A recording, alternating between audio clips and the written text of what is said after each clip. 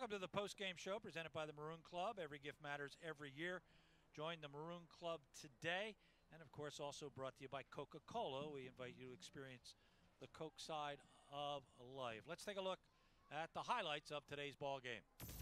Well, Bucknell going out to that 14 to 3 lead. And early here in that first quarter, they set it all up with a 25 yard catch by Will Carter. And then that end around out of that bunch formation. We'll come back to that. Lafayette struggled with that formation all day long. And here's a big play. This was a roughing the passer call at a 7-3 game, an incomplete play. Uh, but you're going to see Michael Root. He's going to take on the tight end here in the back of the end zone. Podbielski comes up, and that's a 14-3 lead. In that third quarter, Lafayette elected to kick the wind. And again, you look at the formation, that bunch formation. Lafayette, no answer for that today. Will Carter with another end around toss play, touchdown. Lafayette answered. Joey Chenoweth down the field, 65 yard on the first play of this drive.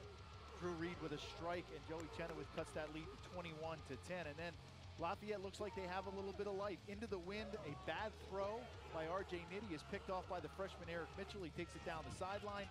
Two plays later, you're going to see the big guy, Michael Dunn, who is my all-star for the game, take that in for a touchdown. Now you're at 21-17. The flip of the quarter and the back at the wind, uh, the, wind at the back of Bucknell. Freshnock did a nice job going coming in for uh, Joey DeFloria, who ended up with over 125 yards rushing. Freshnock takes it in for the touchdown. That gets it to 35-17. And then again, you're going to see Freshnock just kind of run the clock out here. Some good running and great blocking. That offensive line, all seniors up front for Bucknell really put it to the Lafayette defense in that second half. Their inability to get off the field, they have not stopped the run for three straight weeks, and it's resulted in three straight losses. Joey DeFloria with his second best running game of the season, 134 yards, as he did it on 28 carries, not quite matching his 154 that he had against Cornell. Chad Freshnock, the freshman, 16 carries, 71 yards, and he had himself a couple of touchdowns as Bucknell ran for unofficially about 265 yards today against the Lafayette defense. The leading rusher for Lafayette was Mike Dunn, the freshman, 10 carries for 49 yards uh, as uh, Lafayette comes away on the short end of a 42 to 17 score. Frank Tavani, I believe, is working his way to John Leone, where we will have a short chat with him uh, prior to calling it a day. Remember, we'll be back on the air next Saturday as Georgetown comes to Easton, Pennsylvania for a 12:30 kickoff as the Lafayette Sports Network team will be there to bring you that ball game and let's go down on the field. Uh, Coach, uh, you know, uh, boy, you, you, look like really in that third quarter, you decided to take the wind early. Take us through the thought process because it really turned the game for a little while there. Well, we really felt it down, you know, at that point. You got to in the third quarter, get the game back in order, and we weren't really having that much trouble against the wind, but. Uh, you know, again, you know, the frustration mounts. My, you know, credit to uh, Coach Susan and his team.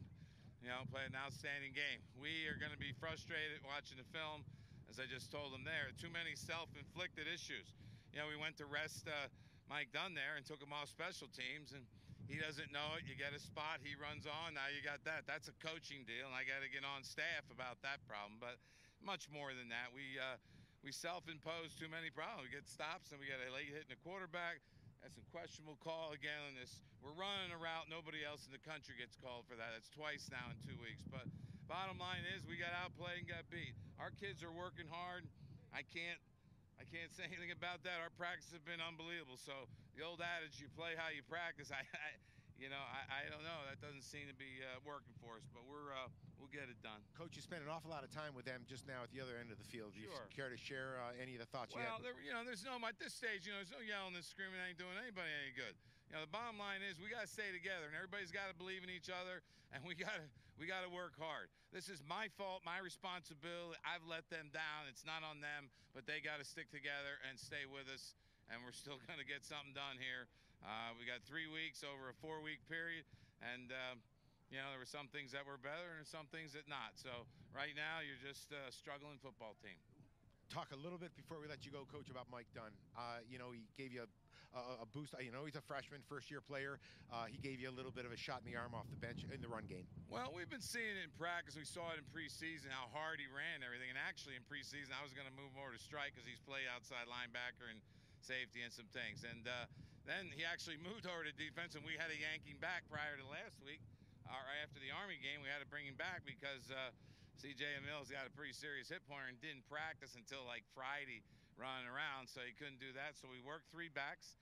We, from practice, we assessed who was doing what. We said we were going to assess in the game, and he was getting it done. He's making people miss. He's running hard, getting extra yards, and uh, that's what you need in the run game. So it's the guy that's getting the job done that's going to play. Coach, I know win, lose, or draw, you will continue to practice hard, you will continue to play hard, and we know we'll see you next Saturday against Georgetown giving it your best shot. There's no doubt my glass is always half full. Got it, Coach. Gary Michael, a frustrating day, as you could tell from Coach Tavani here uh, in Lewisburg, but uh, we will be with you again next week when we take on Georgetown. Back to you guys. All right, John. Final score Bucknell 42, Lafayette 17. We thank you for spending time with us on Masson and all of our other affiliates on the Lafayette Sports Network. My thanks to Mike Joseph, John Leone. Rick Gio has been our director today and the RCN television team. For all of us, I'm Gary Laubach. Goodbye, everybody.